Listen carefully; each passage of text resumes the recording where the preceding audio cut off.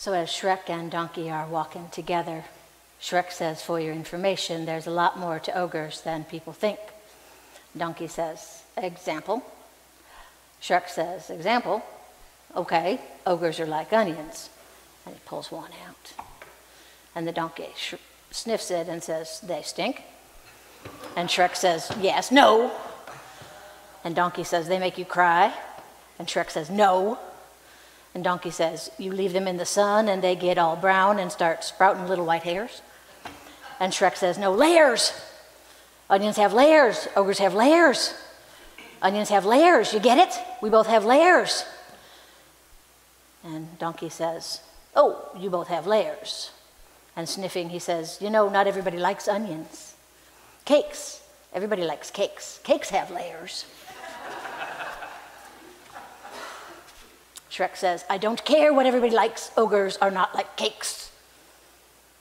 And then they launch into parfaits, you know.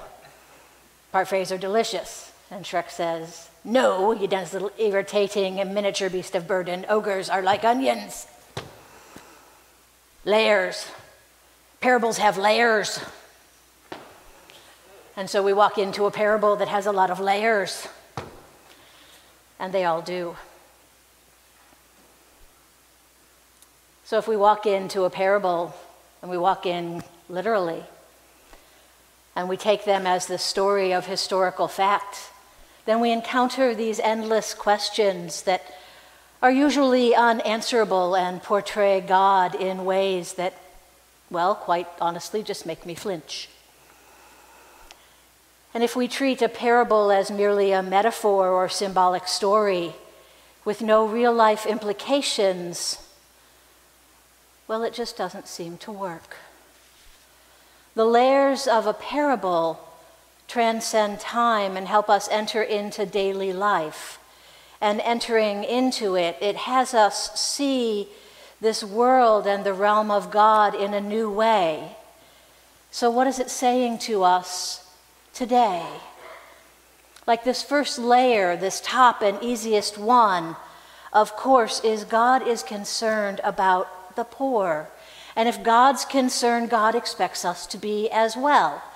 Hebrew scriptures and New Testament is really clear on the topic.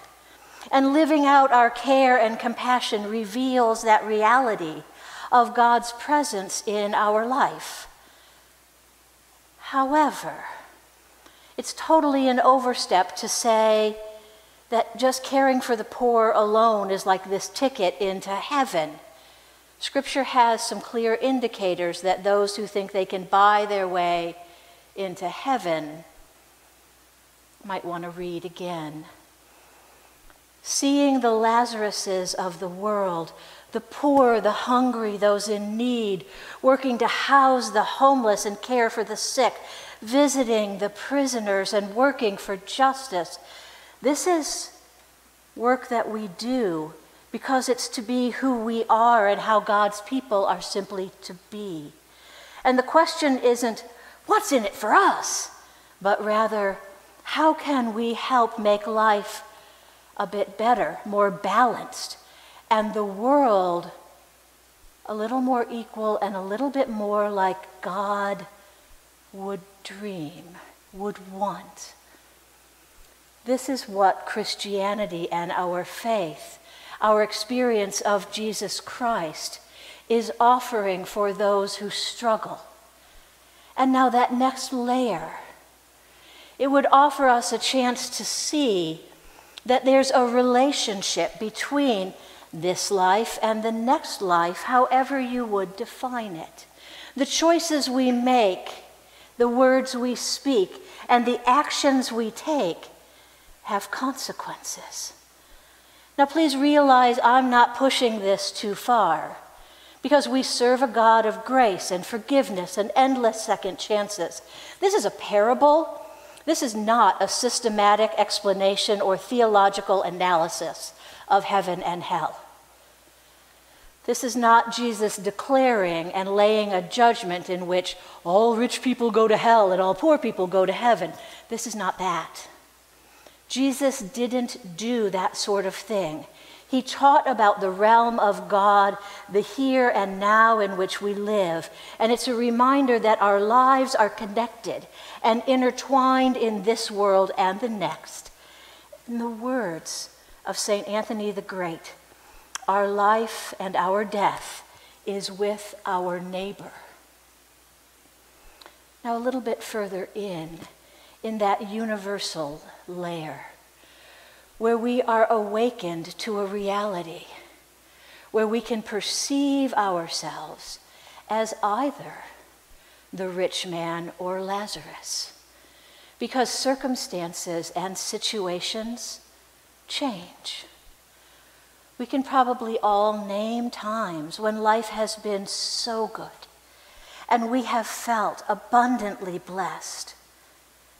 And in like manner, we can name times when life has simply left us destitute and broken, feeling so sorrowful and suffering. The parable is not asking us to make judgments about who's the rich man and who is Lazarus. Instead, it's a chance to ponder. It's asking us to acknowledge and deal with the gates and chasms that separate us from each other. Throughout this parable, the distance, the chasms are the one constant. The beginning to the end of the parable it's full of divisions and separations. We have the gate at the beginning. On the one side of the gate is Lazarus, and he is there with sores and dog spit, hungry and unable to get up and walk. And on the other side, there is the rich man dressed in fine linen and purple, sitting at his table, feasting every day. And then the bookend at the end with the chasm where Lazarus is seated, comforted in the bosom of Abraham, while on the other hand the rich man stands, tormented in the flame of Hades. The gate and the chasm are the same thing. It's where we're divided and broken and separated from one another. We're asked to see the chasm that separates Lazarus and the rich man in the next world as simply a manifestation of the gate that separated them in this world. The rich man carried it with him into whatever his next world would be. It was a part of him. The gate that separates and divides us in this world, it's not a condition, it's not circumstance or a category, rich or poor, Muslim or Christian, LBGTQIA or H, or any other category you want to add to the list. The gate, it's a condition of the human heart. The gate becomes this chasm that exists within us before it exists between us. The gate or chasm can even be something as obscure as those who participate in and appreciate a church garage sale and those who really don't or who are neutral to them. And after this week, the past few weeks, I was really tempted to have signs so that if you participated or really like them, you sit on one side, and if you don't or are neutral, you sit on the other, because there is a chasm between in the church. Because mulling over this text in my mind, in my heart, as the garage sale was ramping up, I had this moment for transcendence and conversion in my life and the chasm was bridged as I saw the fullness of ministry and love that was poured into one of these events. It was this place in the church, the body of Christ, where everything was present and active. It was where, in moments of grief, when a family was uncertain, What do I do with my loved one's furnishings? When pieces have been taken, but these things are left, and I don't want to just put them away. I can give them to the church. And what about mom's jewelry? When family has taken the few pieces they want, it almost felt disrespectful to just box it up. I could give it to the church. There's something respectful and loving in that. And after two plus years of being confined and isolated, people came together for a mission and a cause and a ministry. And folks who wanted to unburden themselves of some belongings could bring them to the church and meet others. You see, through donating things and talking again and gathering at the church, I saw all these things in a garage sale. And I bridged this chasm that I didn't even know I had. Garage sales are not about material possessions, rich man and Lazarus. They're about living compassion and love and ministry and mission in this very real way. This parable was perfect to preach this weekend because it invited me and asked me to examine my own heart and find a gate that separated me, maybe from myself, maybe from my neighbors, maybe from others, or whoever it might be, and maybe even from God, and I didn't even know it. You see, we might full, not fully be aware of those gates. And we might be able to list off those top layers like fear or anger or greed or prejudice or pride or loneliness, any of those things. But This parable invites us to the possibilities for the gates within us that we might not even know. Invites us to see all those ways we are intended to live. Invites us through the eyes of Jesus to understand those chasms that might destroy relationships because they unmake God's creation. And I don't know what those gates or chasms might be that you carry.